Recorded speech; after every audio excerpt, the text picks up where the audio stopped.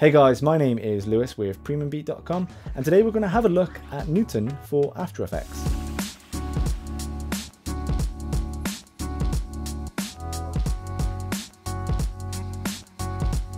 Newton is a 2D physics simulator for After Effects. 2D in the sense of that it will only animate objects along the X and along the Y axis, and physics simulator in how it will automatically animate objects dependent on the user-defined physics settings. For example, if we wanted this shape layer to drop and bounce as a tennis ball, we would open the position and rotation panels and perhaps do something like this. Although as this was just a 5 second job, I'm sure it doesn't look that great. However, if we were to bring this into Newton, set the properties and click play, we have a much more realistic sense of movement. So this is going to be a basics tutorial in the sense of that we're going to get you to crawl more so than to run. Because while I think that the plugin has been beautifully designed to be elegant and simple, it can get somewhat tricky quite quickly. So with that, let's get to it. So I'm using several compositions and shape layers in all, and I'll explain why I'm not using pictures or graphics in a moment. But first, we have to open Newton, which is done under the composition menu, and from there you will select Newton 3. Upon selecting the plugin, an entirely new window will open which contains the independent user interface of Newton. While it mirrors the design of After Effects, it operates a little bit differently, including shortcuts. However, we instantly have this pop-up box, and this is because the Premium Beat logo in our composition is made of several layers within one shape layer, and it's going to ask us if we want that separated. By saying yes, it will separate these shapes into individual layers. Let's quickly look at our geography. It's divided into several smaller panels. We have our main preview window where we will watch back the physics simulation. To the left, we have our body and joint property panels, which will dictate how our bodies and joints react upon being met with the gravitational pull down. And to the right, we have our gravity settings. At the bottom, we have our bodies panel, which is essentially all the layers which have been imported from After Effects, and a joints panel where any joints will sit and then of course our render panel, and other than the advanced settings tab there are no other pop-up menus or panels to work with, this is it. In the preview window, upon pressing play, the gravity settings, which are dictated here, are set in motion, and the Premium Beat logo and the ball fall into infinity. We can lessen or heighten the gravity, and it will affect how fast or how slow the shapes drop, or if they will drop at all. The reason these objects react to gravity and fall to infinity is that they are a dynamic body type, which means these shapes instantly react to the gravity settings. And the reasons why they fall to infinity is that we don't have a shape layer to act as a floor. However, instead of returning to After Effects to create a shape to act as a floor, we can instead select the infinite ground button. Now, when pressing play, the premium beat blocks fall to the ground and the shapes react accordingly. The four parameters primarily set how the individual shapes react within Newton are body type, density, friction, and bounciness. We're going to omit going over every body type for the time being, but we will look at them throughout the tutorial. But as just noted, a dynamic body type will instantly react to the gravity settings upon pressing play. So what do these settings refer to? Density refers to the mass of an object, and quite like real life, if you were to take two objects, one heavier, one lighter, in most circumstances, upon release, they're going to hit the ground at the same time. However, the heavier object is going to create more of a visual impact. To show an example like this, I've got a pre-created composition with two tennis balls and a weak table structure. If you can see the center, there's a little bit of a gap.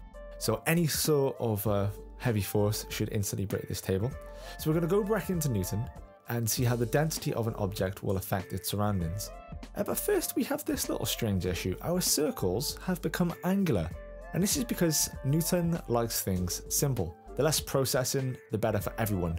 But the problem with angular shapes is that they bounce and roll differently. For example, I'm just going to make the table structures a dead body and I'm going to explain what that is in a moment. And if I place the circle on top of the other click play, we can see that when the circles start to roll off each other, there's a slight bump in its reaction. Now perhaps if this was a high intensity scene, lots of things going on with complex shapes, the angular nature might be passable.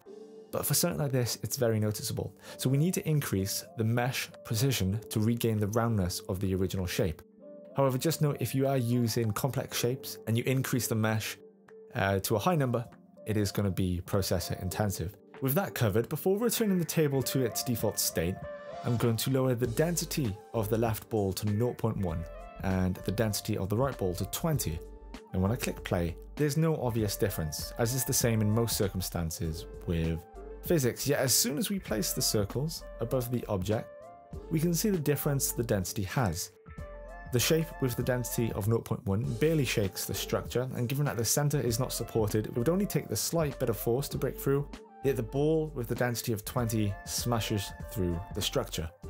Next we have friction, and to demonstrate the properties of friction, I'm going to open another comp where I have two squares and two slopes for the squares to fall. However, look at what happens when I click play. The slopes interact with gravity. Therefore, we need to change the body type in the body type drop-down menu. So while a dormant body may seem like an appropriate choice at first, it's not. While a dormant body may initially be static, as soon as another object touches it, it becomes dynamic. So instead we need to select static, and a static body will remain solid in Newton and override all other outside animations. Now when we click play, the slopes remain in place. So with the two squares, I'm going to decrease the left square to 0.1 and increase the friction to the right square of 2 and we can see that one square looks like it was made out of plastic and the other heavy stone. Finally, I'm going to reset the friction. And you can do this on all properties by hitting this circle button which represents reset. And I'm going to decrease the bounciness of this square to 0.1 and increase the bounciness of the second square to 3 and upon play one square acts as if it's made from stone and the other from rubber. Now, Newton doesn't support pictures or video clips. He uses shapes, text, and masks. If we were to import this picture, which is a PNG, so this alpha channel doesn't disturb anything in After Effects, right? Yet in Newton, it becomes a block instead. So what we need to do is create a shape that mirrors the image that you want to use. And I'll show you how to get back to this image and incorporate the Newton properties a little later. So I'm going to turn on my other layers here and I've just got a shape layer to represent the background and our text, which is then going to fall onto this square. So let's go into Newton. I want the square to remain as it is, so I'm going to make that a static body type. I'm going to move the text up and slightly increase the bounciness so there's a little bit of uh, cool animation to it. And press play. Okay, that is not what we wanted to happen at all. And it's all down to the background layer. So as I said, Newton works in 2D, not 3D.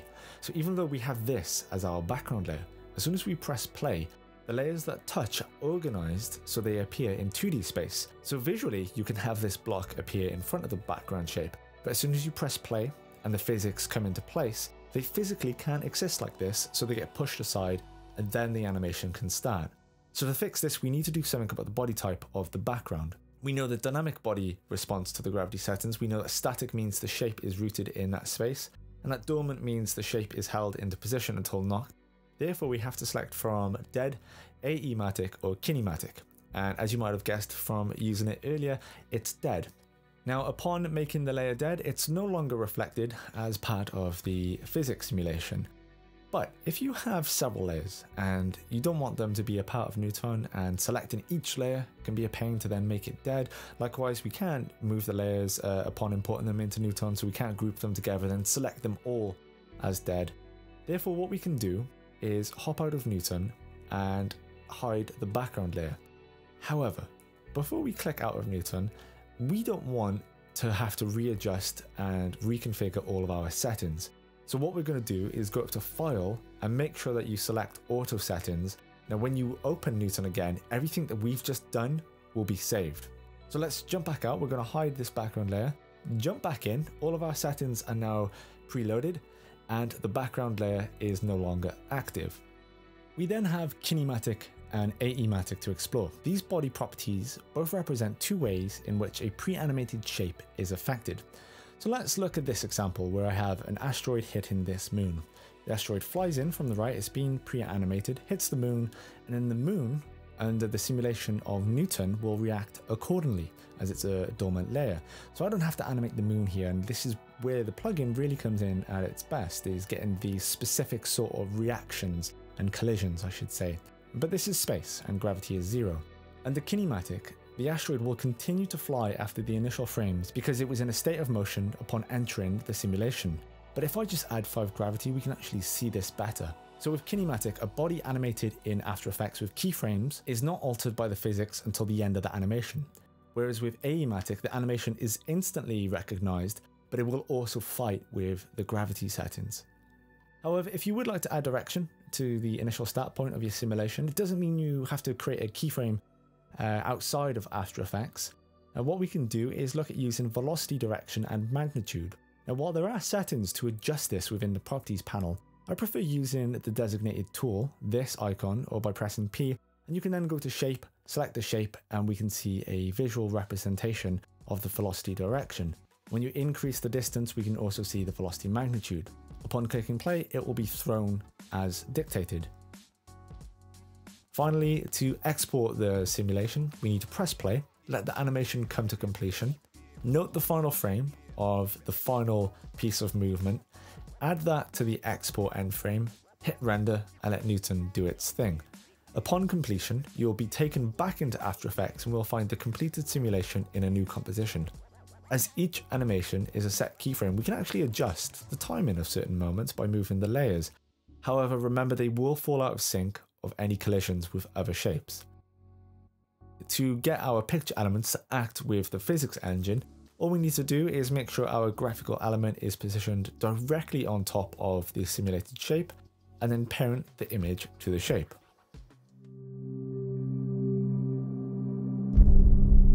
And I think that just about covers the basics of Newton 3. And when I say basics, I'm being very generous because there is a lot more to this uh, uh, plugin than what we've covered today. Uh, but I think we do have to acknowledge that this is a $250 plugin or $300 for someone like myself in the EU who has to pay digital, digital tax. So uh, it's not going to be as accessible for everyone.